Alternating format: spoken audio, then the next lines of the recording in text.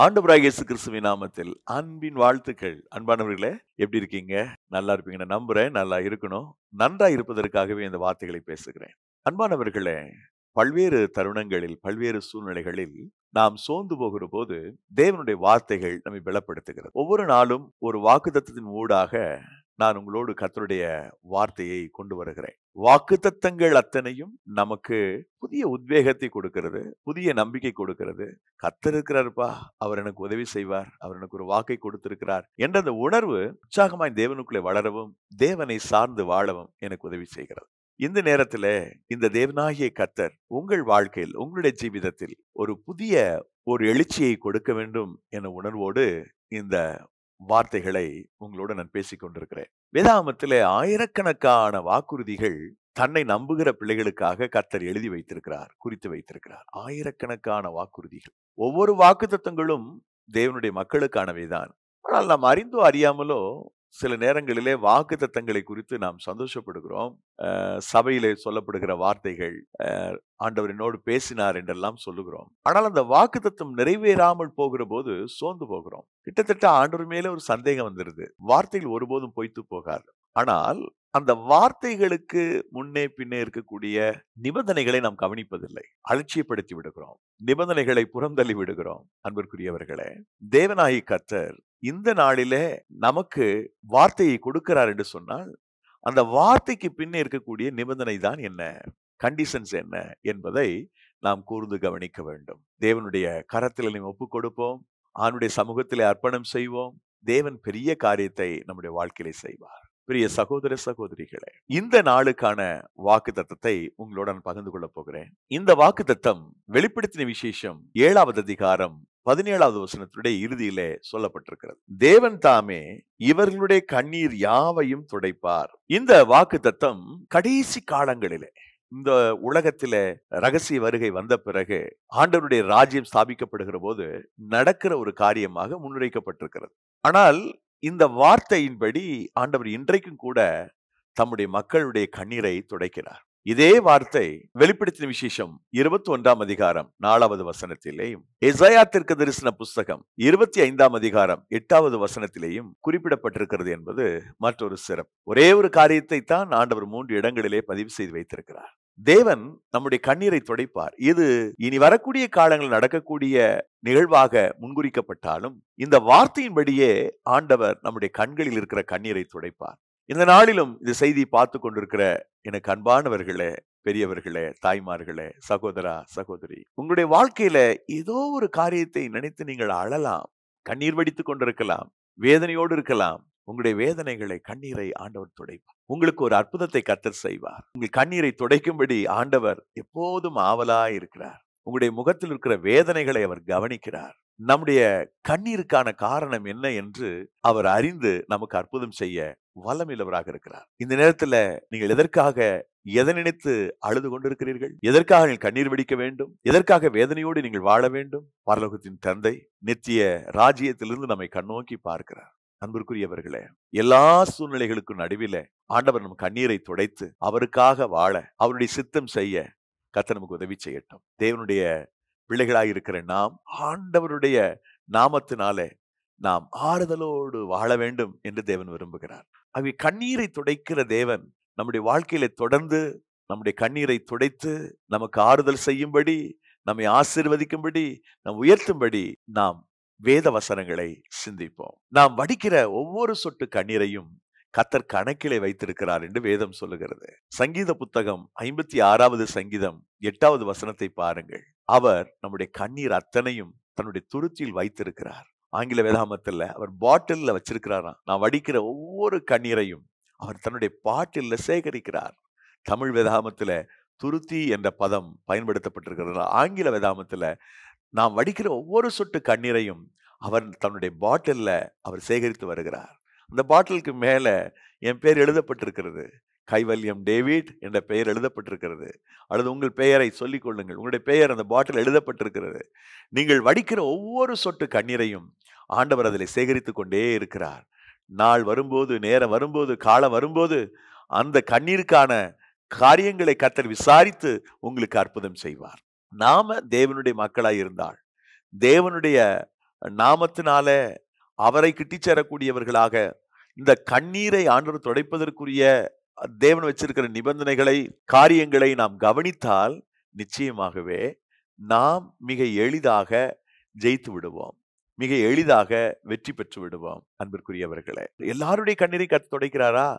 இல்ல. இந்த கண்ணீர் துடைப்பதற்கு சில காரியங்களை செய்ய வேண்டியிருக்கிறது. நான் மிக முக்கியமாக ரெண்டு காரியங்களை இந்த செய்தியினுடைய முடிவில் சொல்லுகிறேன். இந்த ரெண்டு காரியத்தையும் நம்ம கவனத்தில் கொண்டா போதும். நம்முடைய கண்ணீர் துடைக்கப்படும். நம்முடைய கண்ணீரை கத்தர் மாற்றுவார். அதை செய்யும் பொழுது நாம் கண்ணீர் சிந்துவதற்கான காரணங்களை அவர் அறிந்து விசாரித்து நமக்கு ஒரு அற்புதம் செய்வார். ரெண்டு பிரதர்ஸ் ரெண்டு சகோதரர்கள். சகோதரர்கள் இருவருமே கண்ணீர் வடித்தார்கள். ஏசாவும் அழுதான் யாக்கோவும் அழுதான். ஏசாவினுடைய கண்ணீரை கத்த துடைத்தாரா என்றால் இல்லை. ஏசா கண்ணீர் வடித்தான் என்பதை நாம் எபிரேயர் புஸ்தகம் பனிரெண்டாம் அதிகாரம் பதினேழாவது வசனத்திலே வாசிக்க முடியும். யாக்கோபு கண்ணீர் விட்டான் யாக்கோபு அழுதான் என்பதை நாம் ஒசியா புஸ்தகம் பன்னிரெண்டாம் அதிகாரம் நாலாவது வசனத்துல வாசிக்கலாம். ஏன் யாக்கோபனுடைய கண்ணீரை கத்த துடைத்தார்? ஏசானுடைய கண்ணீர் துடைக்கப்படவில்லை காரணம் என்ன? கண்ணீர் துடைக்கப்படுவதற்கு தேவன் வைத்திருக்கிற நிபந்தனைகளை கவனித்து அதை சரி செய்ய வேண்டும். அப்படியானால் தேவன் எதிர்பார்க்கக்கூடிய மாற்றங்கள் யாக்கோபனிடத்தில் இருந்தன. தேவன் எதிர்பார்க்கக்கூடிய மாற்றம் ஏசாவினிடத்தில் இல்லை என்பதுதான் பொருள். நீங்கள் உண்மையாக வேதம் சொல்லுகிறபடி உங்களை ஒப்பு கொடுத்து நீங்கள் கண்ணீரோடு தேவ சமூகத்திலே நீங்கள் இருந்தால் உங்களுடைய கண்ணீரை அவர் துடைத்து கண்ணீருக்கான காரணங்களை விசாரித்து உங்களுக்கு அற்புதம் செய்வார். இந்த நேரத்துல கண்ணீர் வடித்த சில மக்களை நான் உங்களுக்கு காண்பித்து விட்டு இந்த தேவன் நம்முடைய கண்ணீரை துடைப்பதற்கு என்ன செய்ய வேண்டும் என்பதை உங்களோடு கூட நான் பகிர்ந்து கொள்ள விரும்புகிறேன். கண்ணீர் வடித்த அநேக பிள்ளைகள். குறிப்பாக யோபு. யோபு கண்ணீர் வடித்தான் என்று வேதம் சொல்லுகிறது. யோபு பதினாறு இருபதை நான் உங்களுக்காக வாசிக்கிறேன். என் சிநேகிதர் என்னை பரியாசம் பண்ணுகிறார். என் கண் தேவனை நோக்கி கண்ணீர் சொரிகிறது. அழுகிறான் யோபு.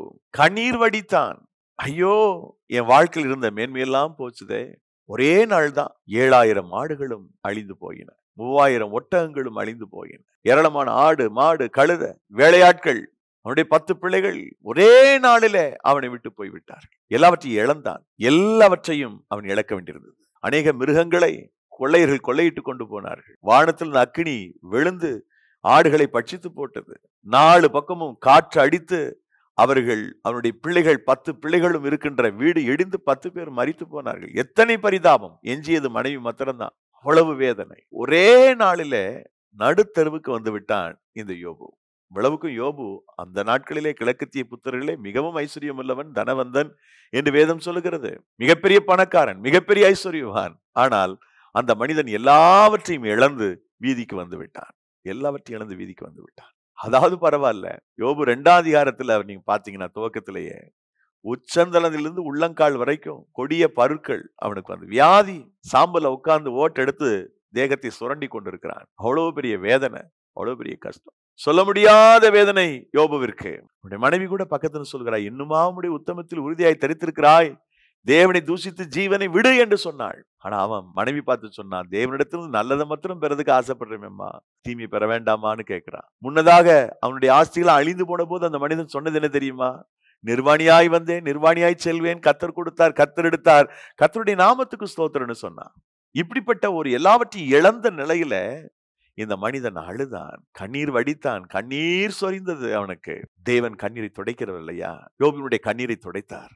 அவனுடைய மனசுல இருக்கிற எல்லா பாரங்களையும் கத்தர் மாற்றி கொஞ்சம் கொஞ்சம் கொஞ்சமாக அவனுடைய லைஃப்ல ஒரு வித்தியாசத்தை கதை உருவாக்கி முடிவில் யோபு நாற்பத்தி ரெண்டு அதிகாரத்துல பாருங்கள் பத்தாவது வசனத்துக்கு பிறகு அவன் எதையெல்லாம் இழந்தானோ ரெட்டிப்பாய் அவனுக்கு கத்தர் ஆசிர்வாதத்தை கொடுத்தார்.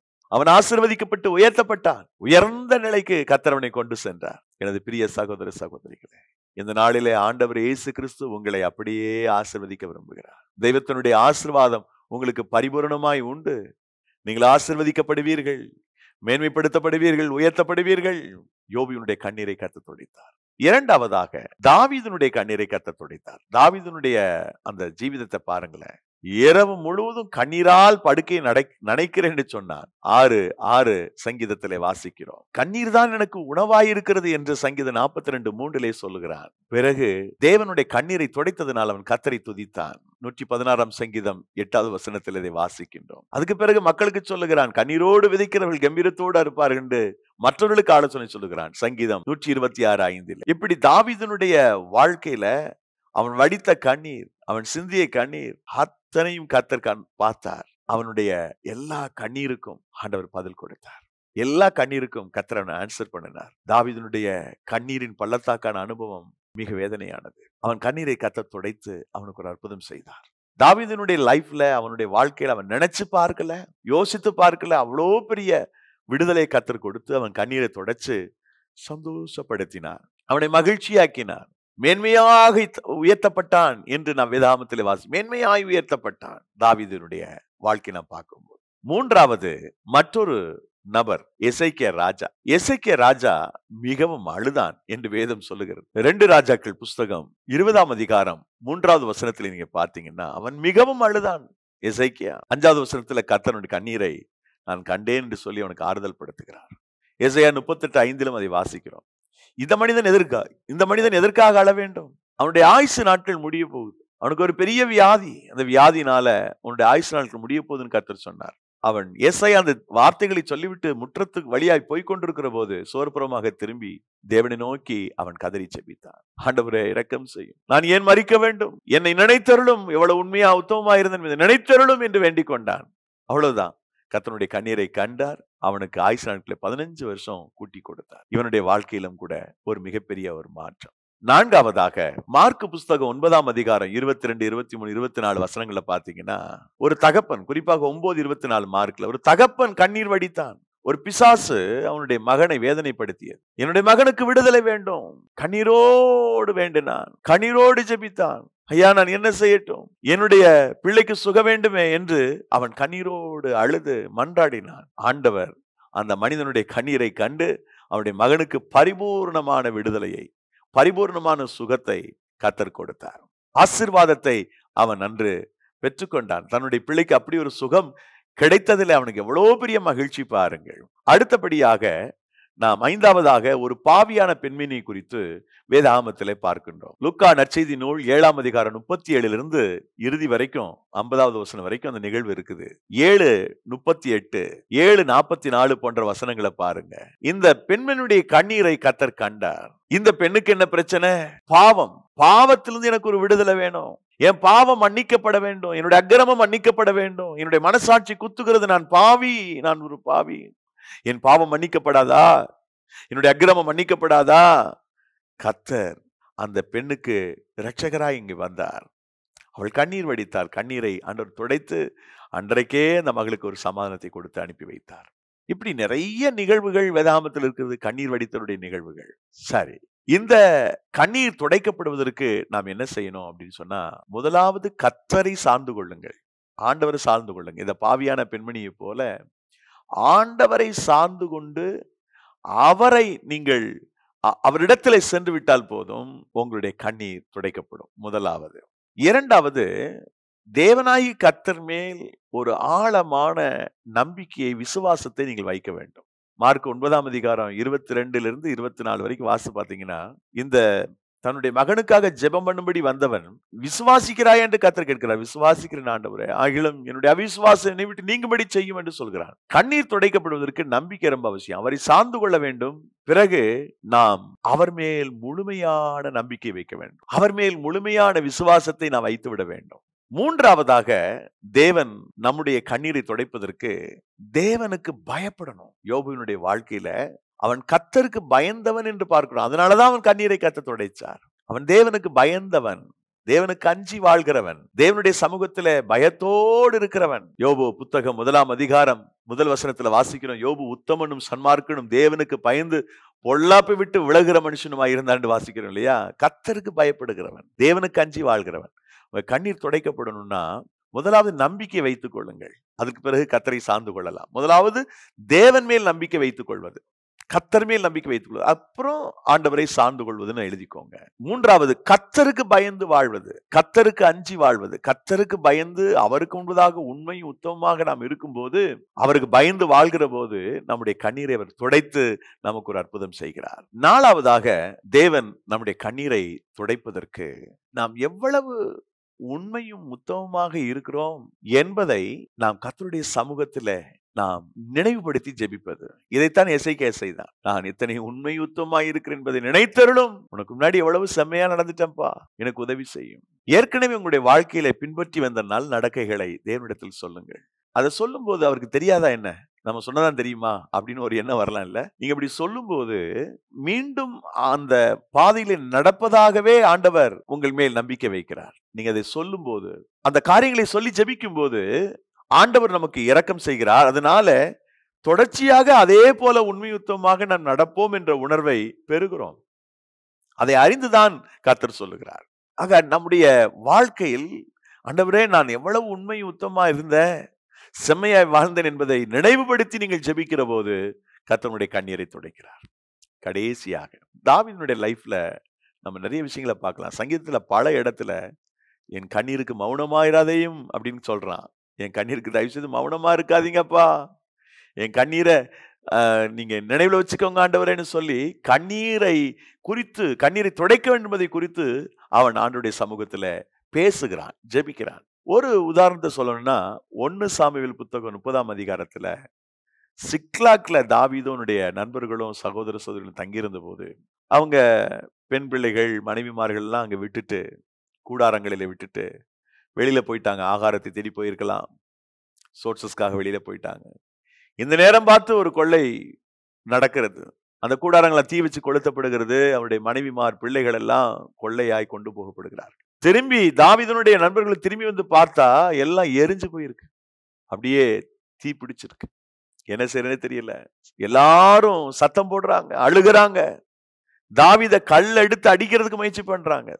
பைபிள் சொல்லுது தாவிது சத்தமிட்டு அழுதான் சத்தமிட்டு அழுதான்.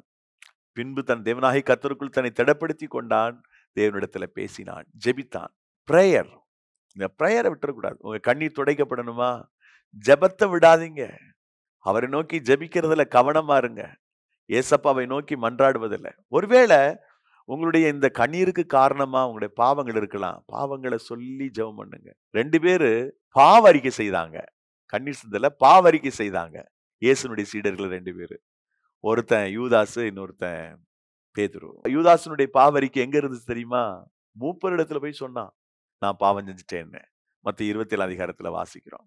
ஆனா இருபத்தி ஆறாவது அதிகாரம் கடைசியில பேதுரு பாவத்தை அறிக்கை பண்ணான்னு லெட்டரை எழுதப்படலை. ஆனா அவன் மனங்கசந்து அழுதான் அப்படின்னு ஒரு வசனம் சொல்லுது. அந்த உள்ளம் உடைஞ்சு அவரை நோக்கி நீங்க பாக்குறீங்க இல்லையா? ஜெபிக்கிறீங்கல்ல அப்போ உங்களுடைய கண்ணீரை அவர் துடைப்பார். உங்களுடைய கண்ணீர் துடைக்கப்படும்.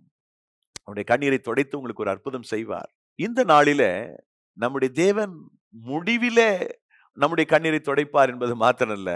இந்த நாட்களிலே நீங்கள் அவரை நோக்கி பார்க்கும்போது அவரை நம்பும் போது அவரை விசுவாசிக்கும் போது அவரது உறுதியாய் பற்றி கொள்ளுகிற போது உங்களுடைய கண்ணீரை அவர் துடைத்து உங்களுக்கு ஒரு அற்புதம் செய்வார்.